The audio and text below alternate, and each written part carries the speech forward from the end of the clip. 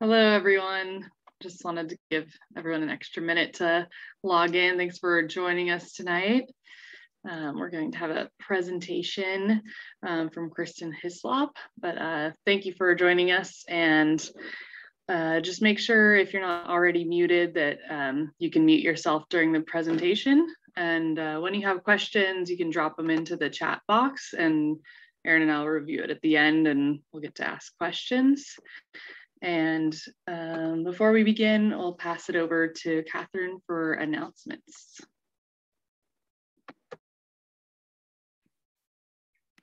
Hi, everyone. I am happy to see you tonight and hope you're doing well and staying healthy.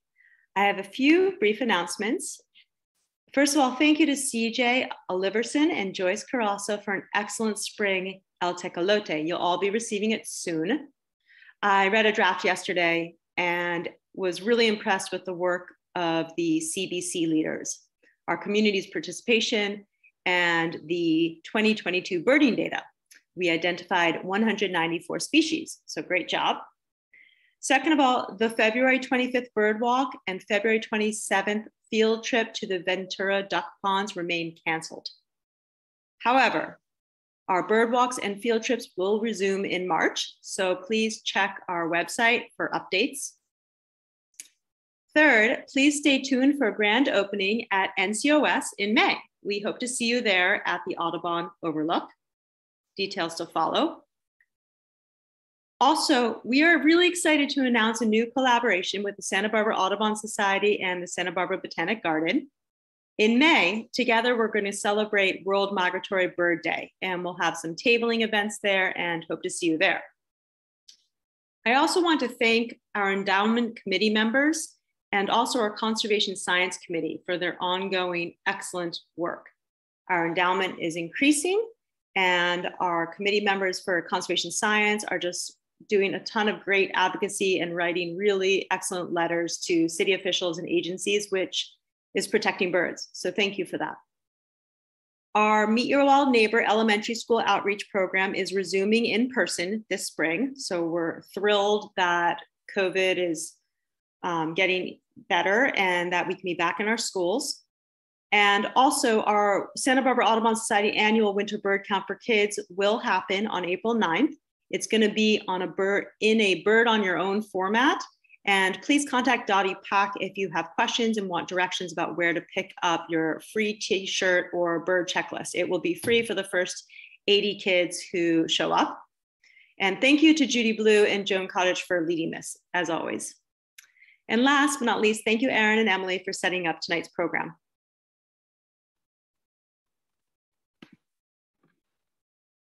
I think I unmuted myself successfully. Um, thank you, Catherine. Um, so with that, I'm going to go ahead and introduce our speaker tonight. Um, our speaker is Kristen Hislop, the Senior Director of the Marine Program at the Environmental Defense Center. Um, Kristen works on issues ranging from offshore energy development to marine protected areas to marine shipping. Kristen earned her BA in geography from UCSB and her Master's of Environmental Science and Management with an emphasis in coastal and marine management from the Bren School at UCSB, where I presently am. So some hope that I can find a future after grad school.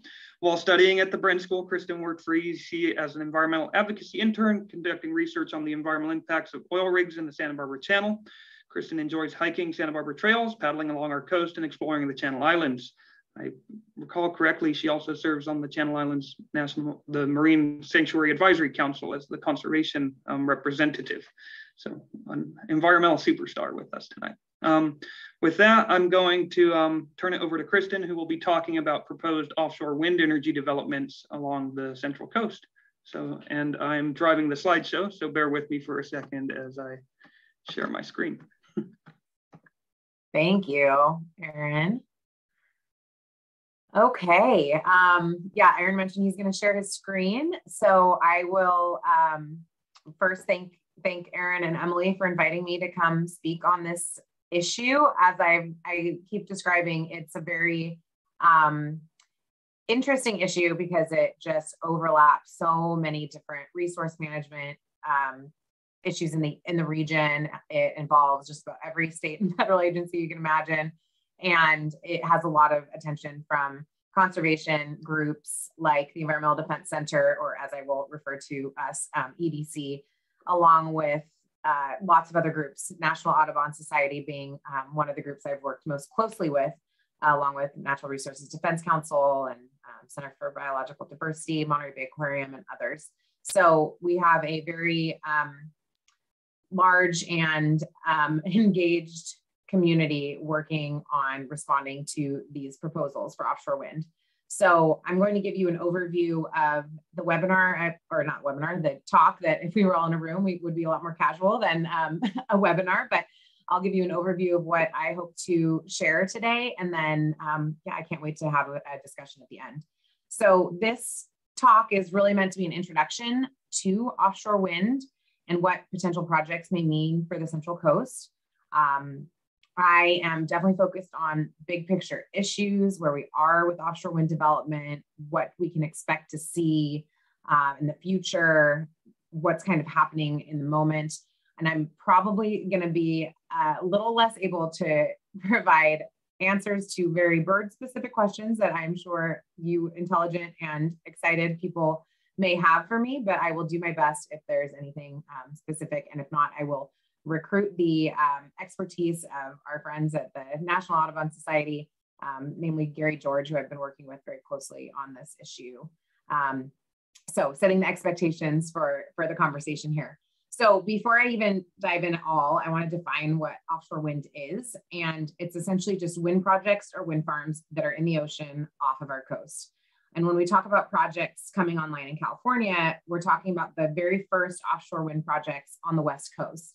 So while there may be projects on the East Coast and in Europe and other areas, this is very new for California.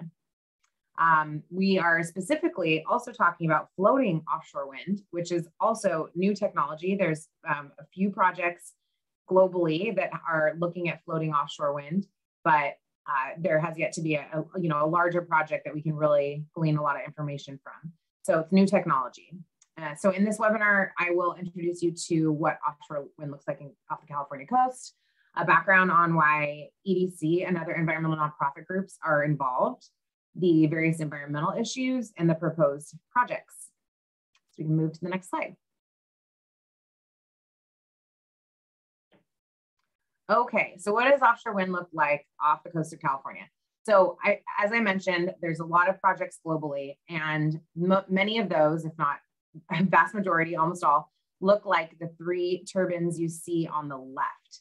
So those three turbines are stationary. They are actually pile driven into the ground, into the seafloor. And so a lot of the impacts to those um, projects are actually in the development stage. So when these when these um, technologies are actually being put in the ocean. But uh, unlike other areas, um, California, the continental shelf drops off very rapidly. So any offshore wind development will need to be in very deep water.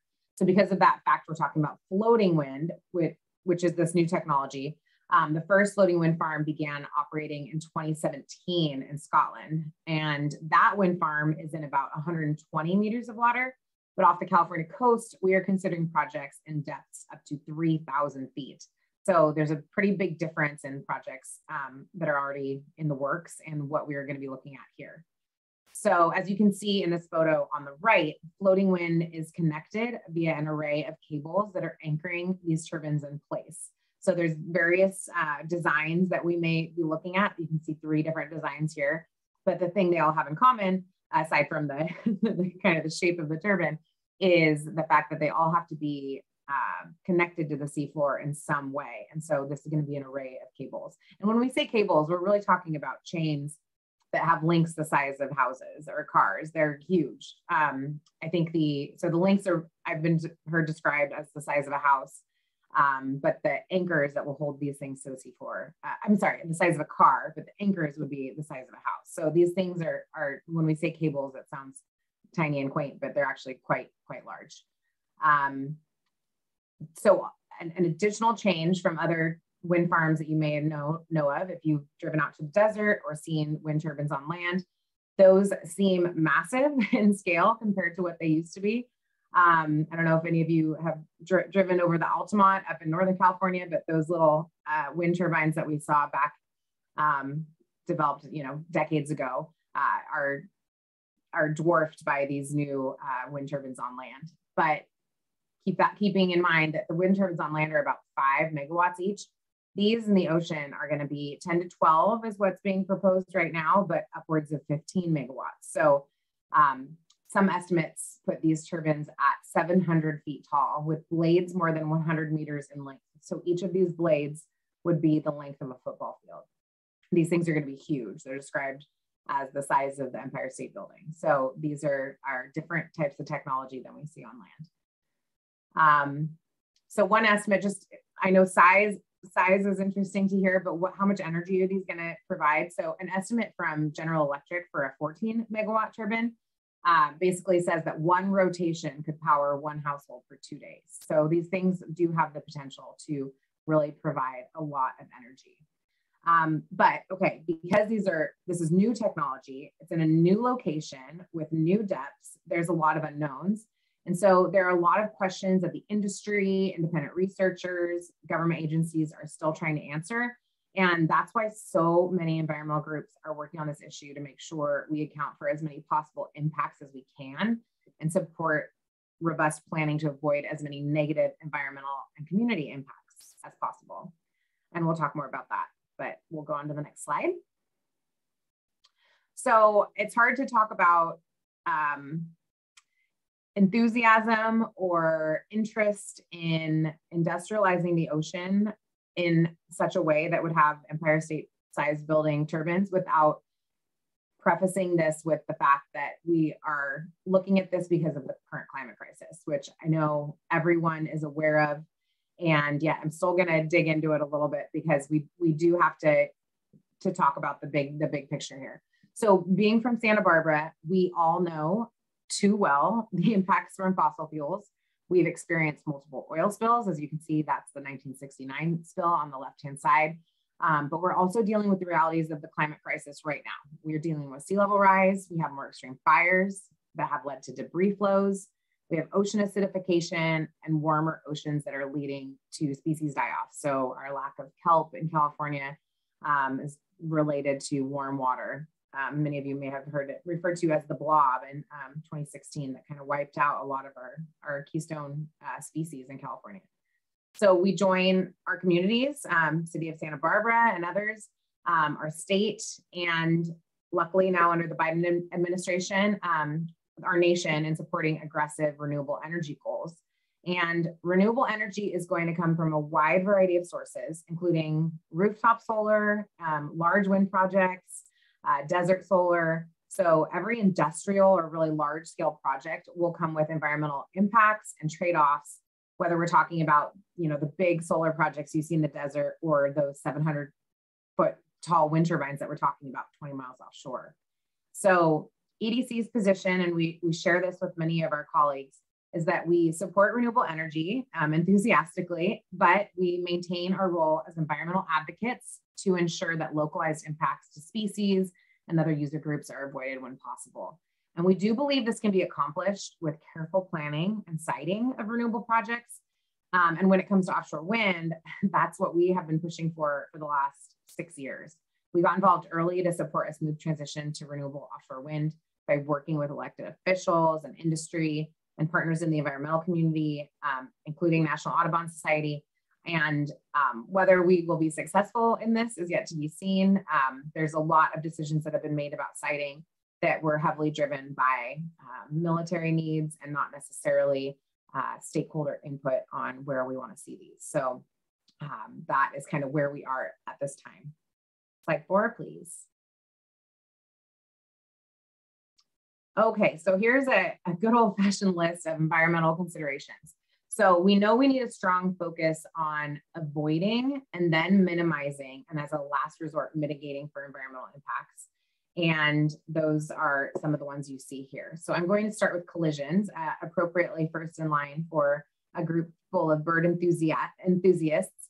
Um, but something you are likely all aware of is on land and in the ocean, birds are impacted by colliding and bats are by colliding with the blades of turbines. So some people look at these really large turbines and wonder how a bird could be impacted by them, but actually the speed of the tips of these go very, very, very fast. Um, so they are impacted, even though they look like they're moving slower. Um, so how do we deal with this issue? First, we have to prioritize the avoidance of areas with high abundance of birds and bats. So um, we'll get we'll get into kind of the marine spatial planning later, but that's a, a top priority is figuring out where we can put these that would have least impact. One of those um, solutions being farther offshore because close to shore we have um, a lot of species with what we call near shore affinity. Um, so in my, I know you all are very focused on birds here, of course. So in my word with work with National Audubon Society, I understand that their efforts in the offshore wind space are largely driven by a recent study that you may have all heard of um, that estimates about two thirds of North American birds are at increasing risk of extinction from global temperature change. So, despite the inevitable impacts that turbines will have on birds, both from collisions and displacement, so moving like birds avoiding the area and thus um, not necessarily being where they need to be for migration and feeding, um, despite those impacts, it's felt that the continuing use of fossil fuel will have far riskier outcomes. So, there is um, an interest in offshore wind because of that. So I just wanted to, to preface that, that um, in all of our work, we, we work very closely with the energy team at National Audubon Society to make sure that we're really getting the expertise of, um, of that organization for all things birds. So we can't completely avoid interactions with birds. So we need to build in requirements for wind companies to monitor so we can understand the impacts um, mitigate for some of those impacts and um, adapt operations as we can. Um, so the next issue is entanglement. And this is very important in our region. So we are talking about secondary entanglement.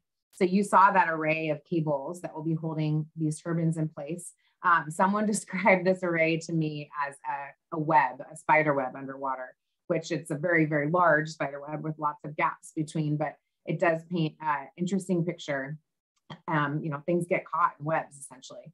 So we are concerned that there may be some direct impact with uh, marine mammals like lunge, lunge feeding whales and these large uh, anchor chains or cables. But we imagine the bigger threat being derelict or ghost fishing nets and lines that might get tangled on the cables and then animals get tangled in those. So that's really what we're talking about um, when we're referring to secondary entanglement. And entanglement can impact all types of animals. We are primarily concerned with marine, marine mammals and sea turtles because of their uh, declining numbers or, or low numbers. Some of them are recovering. Um, and the Central Coast hosts a variety of endangered and threatened whales, and we want to ensure that wind farms do not negatively impact those recovering populations. So then we also have noise, which it will be a little bit different than our um, stationary counterparts on the west or the east coast, where they aren't floating, they're actually pile driven into the ground. So those shallow projects um, are very loud at, at um, the construction phase and have significant impact, noise impacts to marine mammals. But luckily, we're told that floating wind doesn't have that same impact since they, the method of attaching these structures to the seafloor is different. It's by anchoring them, not by driving them into the ground. So there's less construction noise but there will still be noise impacts from construction and normal operations, which can affect marine mammals, fishes, and other species. So um, luckily, hopefully that, that impact is a little bit less than in the stationary projects. And then displacement, I mentioned briefly. Um, this could be because of noise or the physical structures and the cable arrays themselves. And so the question is, will marine species avoid the area? Will that then push them into other areas of risk?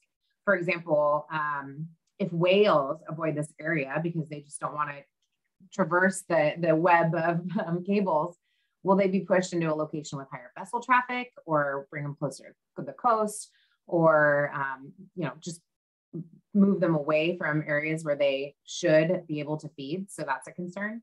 Um, and that leads us to the next issue of ship strike. So another very big concern of recovering whale populations on the California coast is being struck by large vessels we see them coming through the Santa Barbara Channel quite often, and they do on occasion strike and kill whales. So if we're displacing whales into areas with ship traffic, or if there's increased ship traffic to um, work on these areas uh, of the wind farms, will that actually increase the likelihood of ship strikes? Um, so one thing we can do to avoid that is to ensure ships are going at proper speeds to avoid hitting whales. And if they do hit them, um, avoid or minimize the risk of killing them. So then we also have habitat impacts, and that can be scour from the anchor chain or the cable array. So you can imagine these things uh, are moving in the ocean column and can scour the seafloor.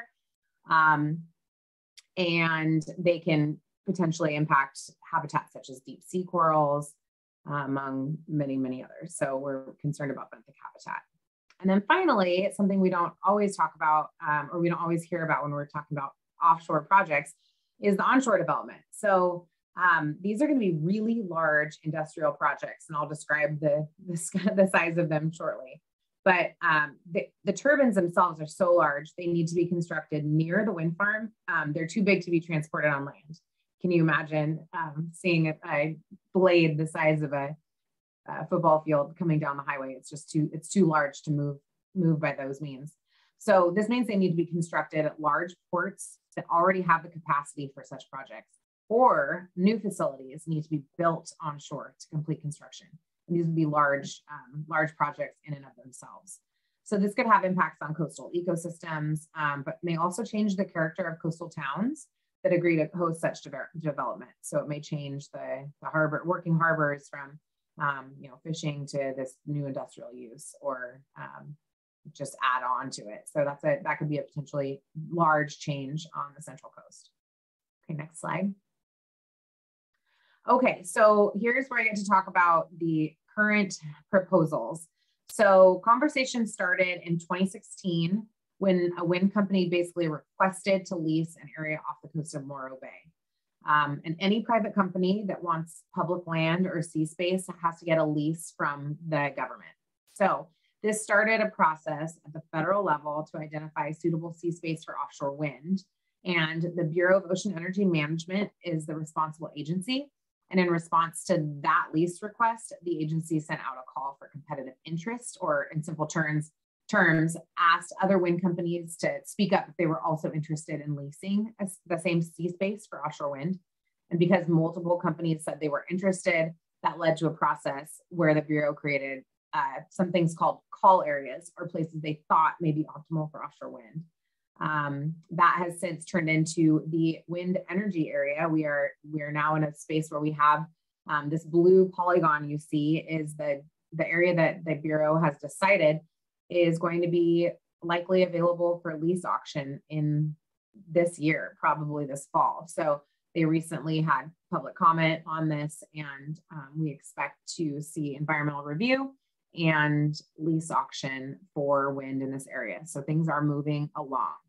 Um, from what we've heard, this is likely the only place along the Central Coast in federal waters um, for wind projects. There, we'll talk about state waters in a moment, but federal waters are three nautical miles and, and beyond to 200 miles that um, would be leased by the federal government. So, because I think mostly a, a military conflicts, this is likely the only area that we will see developed, though that is, of course, yet to be seen and will develop over the next many decades. So we don't know that for a fact. Next slide. Okay, so I thought this was an interesting slide and keep in mind that this image is meant to be the size of a wall. Um, this is a rendering from the Bureau of Ocean Energy Management on what the visibility of these turbines would be from shore. And this is from a point east of P the Piedras Blancas Lighthouse. And so when when the Bureau started um, looking at community meetings to um, show folks what these projects would look like, they created these, this rendering. You can see the orange circle is um, around what would be a turbine in the proposed area, I think a 10 megawatt turbine. Um, and you can see maybe, depending on what screen you're looking at right now, that these uh, these wind turbines look about like the third of the size of that lighthouse there, but pretty small on a cloudy day. You can't see them, but on a clear day, you can. Um, and again, this was intended to be presented at a public meeting, and this would have been printed on a wall. So it's very hard to get this scale on a tablet or your computer, but I do think it's a really interesting image, and you can um, expand it in your mind to see that yes, they will be visible but they um, aren't maybe as obtrusive as some people might think because they are pretty far offshore. Um, so that's kind of the main point. They will be visible. Um, but you know, EDC and a lot of our other environmental groups are less interested in the visual impacts as the other environmental impacts. Um, but that being said, it's very important to the California coastline. Um, the Coastal Commission will obviously have to weigh in on the visual impacts, but I will leave it to you all to decide whether these are obtrusive structures um, and a blight on the horizon or beautiful reminders that we're tackling the climate crisis. Okay, next slide. Okay, that brings us to the other projects that have been proposed in our region in state waters. So there are two proposed projects off the coast between Vandenberg Air Force Base and Point Conception. So this is Point Arguello, um, which is where they are directly um, west of. So you can kind of see that, that blue arrow to the right of it or to the east of that blue arrow is, is Point Arguello. Um, these arrows point to two distinct projects, which each are proposed to have four turbines. And this, they're in the, the early stages of permitting. Um, essentially, the State Lands Commission has agreed to allow these two companies to move forward with an EIR, an environmental impact report on um, leasing these areas. And um, EDC and, and, our coalition of partnering environmental groups, including Audubon, are very concerned about these projects because they are really close to shore and many species in this area have near shore affinity. This is an area that also has many special designations. Um, it's an important bird area for many, uh, many species, including Swedish shearwater. It's critical habitat for many species as well, such as humpback whale and leatherback sea turtle.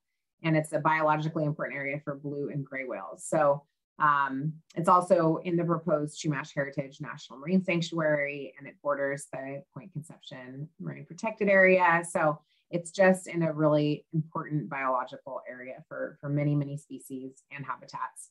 Um, we are generally concerned about any projects in state waters because of that uh, near shore affinity issue with many species. And we do want to see projects further offshore. Um, there's very no projects actually yet in, in, the United States have approved have been approved in state waters. Uh, there's, I think the closest project to shore is something like nine miles. So um, just some something to chew on, but that's the other the other projects that we are looking at. Next slide.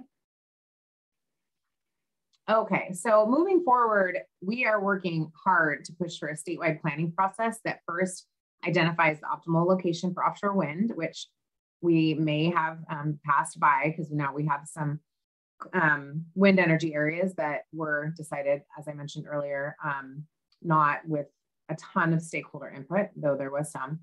Um, so we, we, we still are asking for that um, from the state, especially. We want to, um, we don't want to be constantly responding to industry requests for projects. We believe that planning can result in benefits to both industry and definitely the environment we're moving forward in good faith um, with the understanding that we're we're all on the same side uh, and th- with the goal of advancing renewable energy. And and we meaning the environmental groups that I've been working with do believe that offshore wind can play a role in that.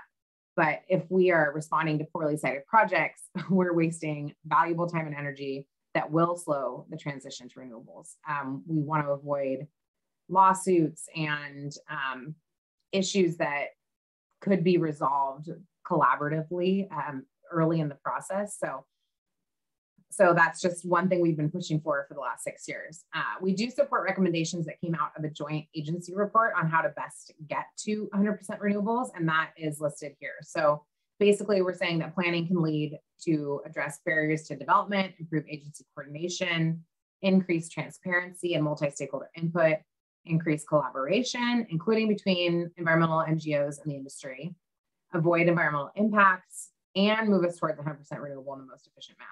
So um, in some ways, this train has left the station for the, the Morro Bay project, and the, there's a similar project up in Humboldt, which I haven't mentioned, but um, that's the other area off the California coast where we're looking at wind in federal waters right now. But we are still working very hard with the state to ensure that um, this kind of planning process work moves forward. And in that in that light, we have le legislation that was passed last year called AB 525 that requires a planning process um, from the state. So we're working closely with many of the state agencies, the Energy Commission, the Ocean Protection Council, Coastal Commission, to look at how to best um, plan for offshore wind on a statewide basis. Um, and again, instead of responding to industry requests um, in a consistent manner. So we are optimistic that we're going to make strides and that legislation will help. Okay, next slide.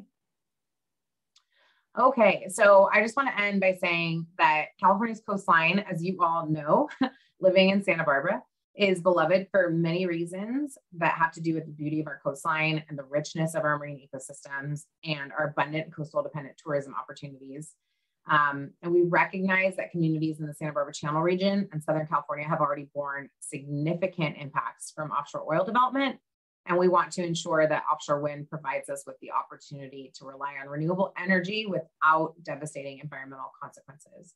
So we're working really hard to accomplish that and um, really relying on, you know, communication with other groups and the community and hearing what you all have to think about this issue. So um, I'm excited to open up the conversation and hear what you all have to, to say and what you all think about this. Thank you.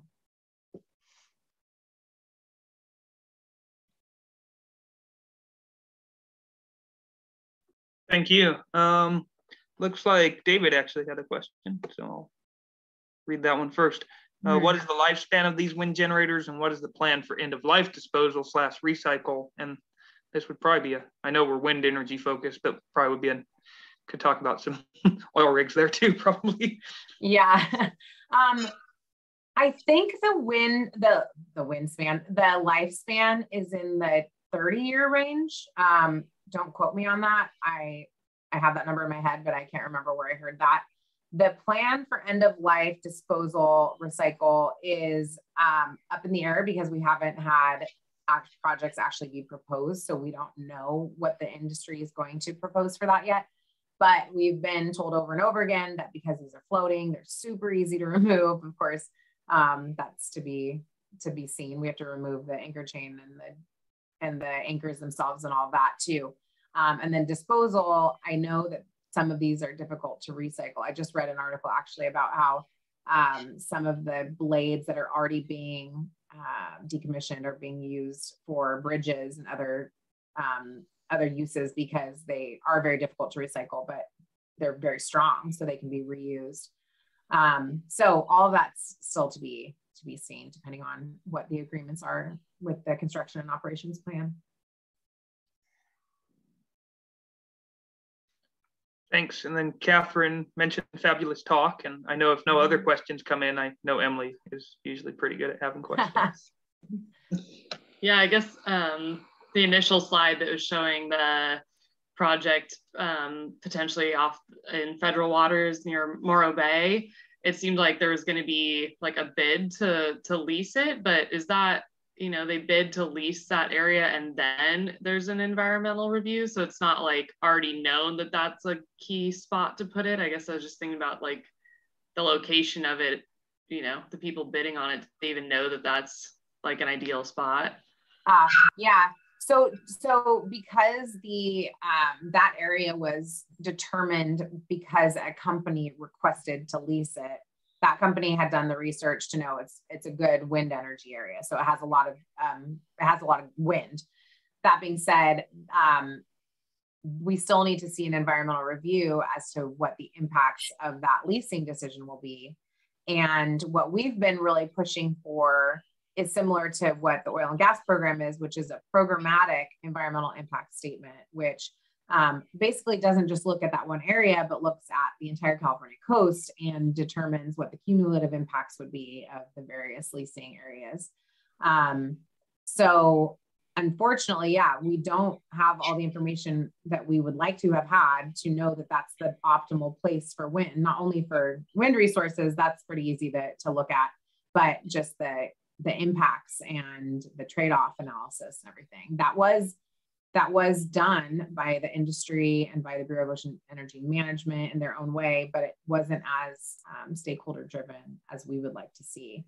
And so from there, now that there's a wind energy area, what we understand will happen is that um, after they're going to do some environmental review on that lease area, and then after that, there will be the opportunity for multiple leases within that region. And they're going to look at, um, at that point, where they could actually put the wind within that area um, with, you know, minimal impacts to the marine environment. So what we were really trying to get at was the, a larger lease area, which seems a little bit scary, but actually then you can winnow it down to be where you really want to see it um, be accomplished. But the amount of wind that they want to see in this area, there's not going to be a, a, whole lot of room for um, leaving places blank. So, um, so there will be multiple leases, multiple companies that then get to use this area to produce wind energy. And um, also wanting to mention just the size of this. So that area is called the 399 because it's 399 square miles. So it's very large.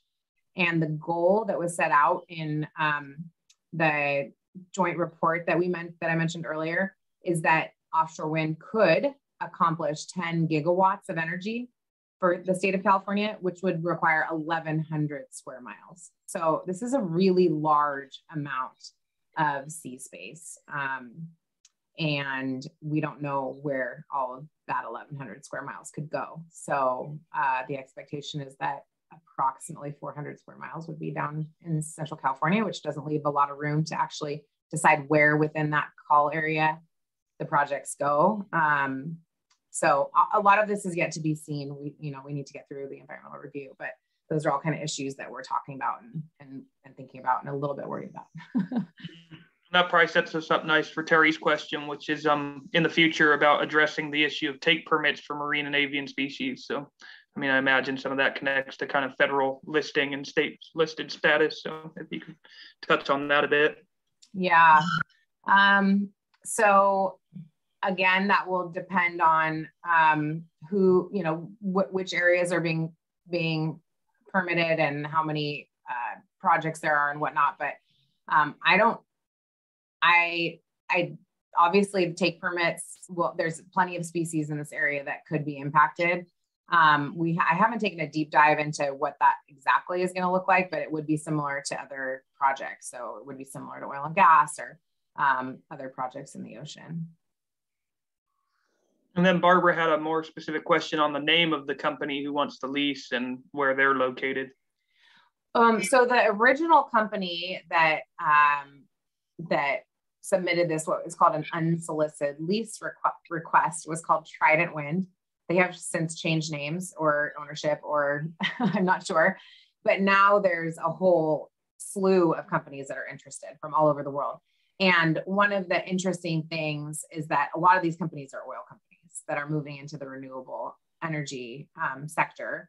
And one of the frustrations I have is, um, you know, a discussion about the, the need to move quickly on these projects, which we under, all understand. We need to transition to renewables as quickly as possible. But when you have an oil company telling you that they do, they want to skip through environmental review and get permits as fast as possible because of the climate crisis, it's a little bit frustrating. Um, so I like to really take the the um, angle of we need to do this right. We we do need to move quickly, but that's what we've been really trying to get um, the all of the players to understand what needs to be accomplished early on in the process. And again, I've been working on this for six years, and we I feel like we haven't quite even gotten to the point where everyone's um, talking about what we need to do to, to make this move. So um, yeah, it's a, it's a that's a frustrating process. Uh, a lot, most of these are foreign companies, um, many from Europe, but um, again, there's there's a lot of them. I don't even know who's going to be bidding on on these lease areas.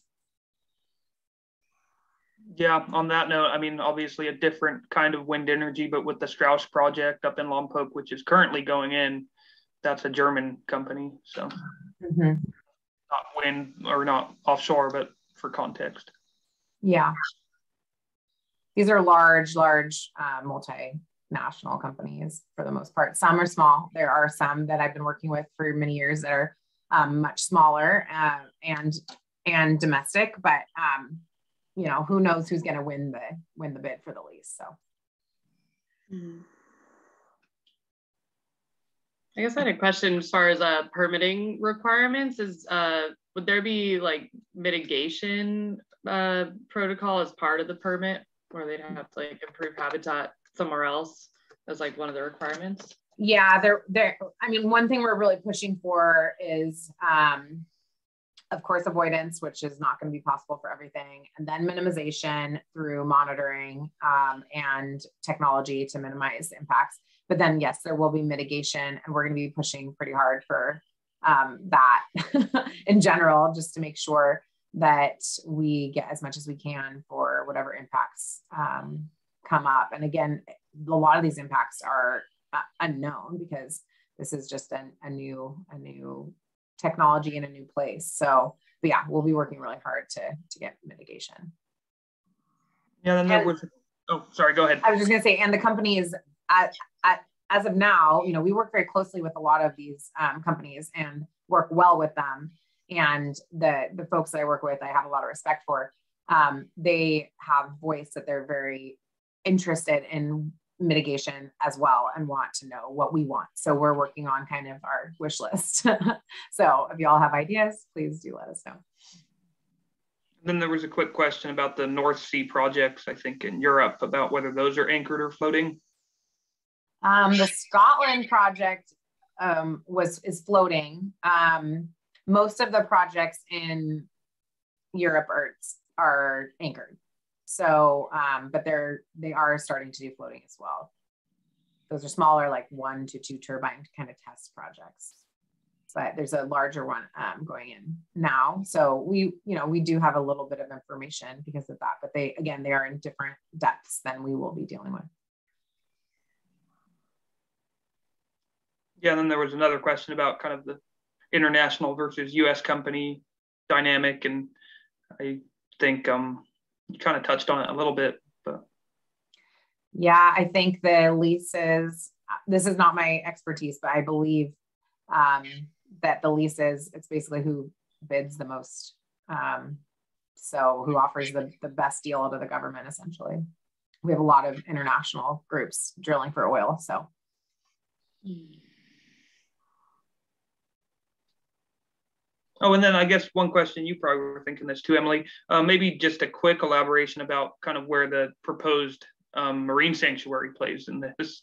Oh yeah, um, I think that's a really interesting piece of the puzzle. So the proposed Chumash Heritage National Marine Sanctuary, for those of you who don't know, would essentially um, uh, cover the coastline between Monterey Bay National Marine Sanctuary and the Channel Islands. So uh, it wouldn't come all the way into the Santa Barbara Channel, but it would overlap with the um, two state projects um, that are proposed off of Vandenberg and Point Conception, Point Arguello.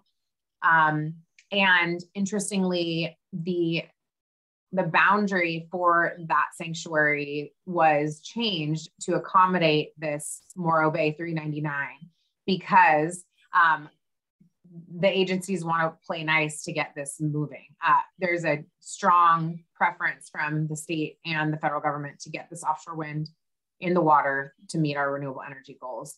So, because of that, there was a, a change to the designation document um, that allows for offshore wind in that Morro Bay area. That being said, any new development, um, there's no current mechanism to allow for offshore wind within sanctuary waters. So unless the designation document changed that um, precedent and allowed for it, the area of the Chumash Heritage would essentially become a sanctuary from wind as well. So I think that there's a lot of folks that are interested in that because then it reduces the, the footprint of wind in areas that um, are concerning to those of us who are worried about environmental impacts, also the military. So um, yeah, that's a very interesting overlapping uh, topic.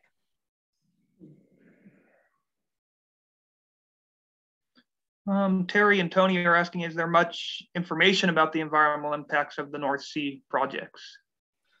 Yeah, so there is um, information, but unfortunately, there are not very strong monitoring requirements for these projects. So we don't have as much information as we would want to.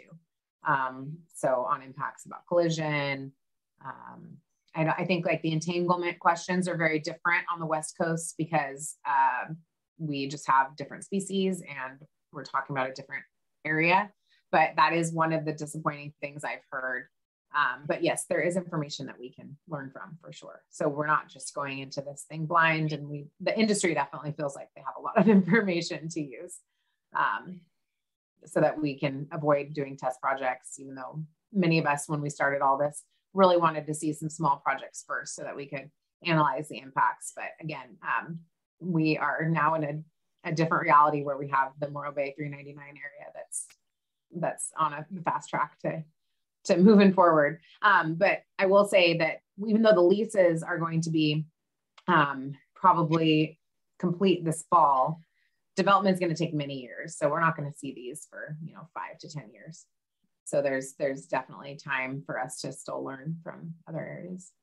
Yeah, and I guess that brings up one other question I had. You kind of touched on it with the onshore development. I know, and we kind of you mentioned it briefly. The Humboldt projects. I mean, so it would mainly kind of be like Morro Bay and Arcata would be two communities that would be kind of facing some onshore development. Yeah. So for the for the more, I mean, it's interesting because Humboldt is more interested in seeing um, port development than maybe we are down here because they are excited about the economic benefit from it. Um, for us to have turbines being developed and built, we have to look to existing ports, which would be um, Port of LA Long Beach or Port Hueneme. And we've heard Port Hueneme is pretty much full. They don't have the capacity to um, accommodate this use. I mean, who knows? Maybe that will change, but that's what we've been told. Um, we can't lean on San Francisco Bay Area because uh, the ports within the bay, um, while they might be able to accommodate a big use, that we can't get the turbines out of the bay. So that's not a possibility. And then bringing them down from Humboldt, if we do build a port up in Humboldt, well, that provides its own um, challenges. It's just really far. So there's the potential that there will be uh, proposals to create a new port, mm, maybe in the Morro Bay area, which is very concerning to me. Um, that's a really big new use of the coastline in an area that's pretty undeveloped. So um, yeah, that's that's definitely a concern.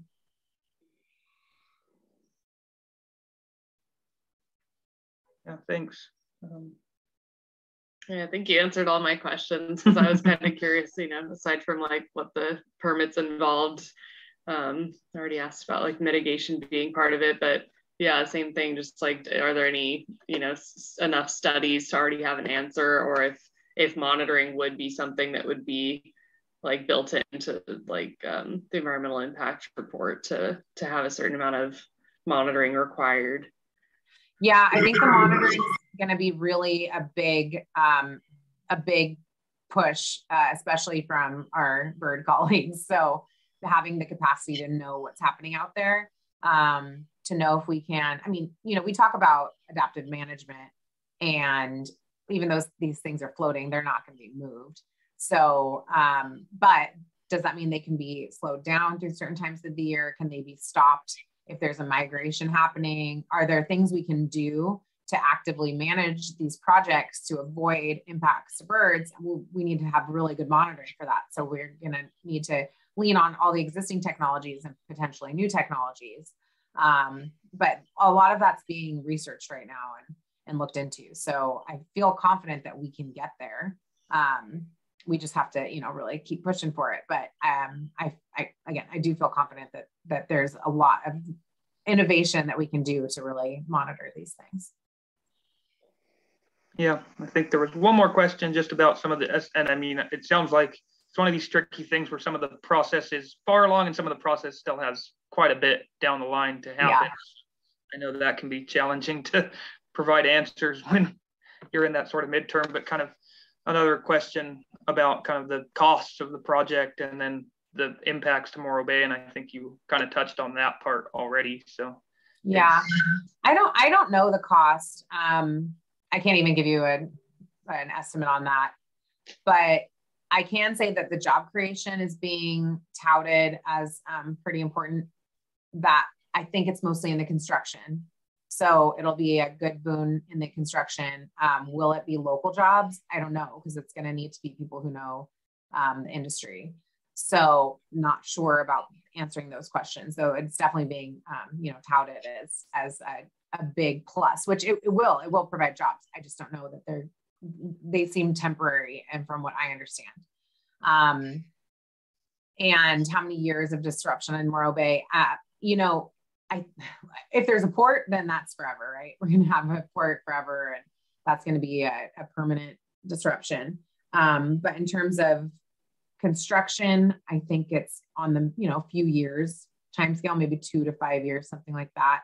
And then of course operations um, forever. But I, it's my understanding that the operations are limited to the transmission facility. So these, well, basically one of the reasons, which I failed to mention, one of the reasons that this area was so attractive to industry and to the to the government is because we have the Morro Bay power plant being decommissioned and the Diablo Canyon power plant being decommissioned. So we already have six gigawatts of transmission capacity that A, we need to fill and B is available. So that's why Morro Bay was chosen. Um, so we are at least we already have that facility and that that transmission. So that's good in terms of disruption. That's a you know a continuing use, but it's not a new um, new disruption to the community. Um, and then I think operations in general, it's you know boat trips out to to um, maintain the platforms or the turbines and um, I don't know that it's going to be that disruptive on a long-term scale aside from the the construction that is done on shore to accommodate these things. And you know, there's going to be decommissioning, and if they're successful, then they're going to be rebuilding them. And so, you know, if these things do what we hope that they do, which is provide renewable energy at a that we are happy with, and and after 30 years we want to see continue, then you know those those construction operations will be in a cycle, an ongoing cycle. Awesome. Well, I don't see any other questions coming in. So unless anybody else has anything, um, I think we'll probably wrap it up there. But um, thank you, Kristen, for the time and the informative presentation and definitely something for everybody to kind of keep track of going forward because yeah and um, i'll put my email in the chat if anyone has questions or just wants to chat about this or honestly i'm really interested to hear what you all think about these because you know we've had we've had some folks call us very concerned about um, these projects and um, EDC's interest and excuse me interest in in moving forward with renewable energy with this renewable energy. But I I do hope that I've um, painted a, a, cautionary approach here. We are enthusiastic about the possibility, but we we still have a lot of concerns. Um, so you know I'd love to to chat with anyone who's interested in in sharing their thoughts on this and and um, and potentially just having a greater conversation about it. So uh, my email's there, and please feel free to use it. Awesome. Well, I know we. I thank you for talking about all that, and at some point we'll get you back and we'll turn off the recording and get your real your real thoughts. But no, that was really awesome and informative. So we definitely appreciate it, and um, yeah, we definitely appreciate all the work EDC does with the environment locally. So. Thank you. Yeah, appreciate it. All right. Well, with that, I think we'll go ahead and call it an evening. I'll just really quickly mention that this is available for viewing on Santa Barbara Audubon.org after, um, or on YouTube, I guess. And then our next program is on March 23rd. We'll have Holly Merker talking about ornithotherapy, so birding as a way for mental health. Oh. Yeah, but thank you and have a good night, everybody. Have a good rest of the week. See you next month.